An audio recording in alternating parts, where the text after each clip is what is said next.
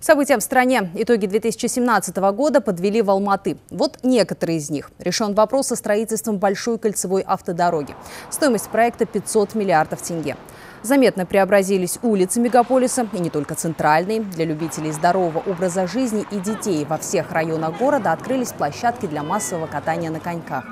Но одно из главных событий произошло в сфере строительства. За счет внедрения электронной очереди квартиры получили в три раза больше семей. Их число составило 6 тысяч.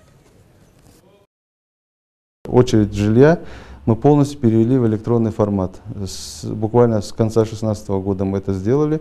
Теперь э, очередь полностью находится в, на портале электронного правительства ЕГОВ. Э, теперь каждый желающий может э, зайти. По мере движения очереди он может видеть свою динамику, э, что как раз таки соответствует всем критериям прозрачность распределения жилья.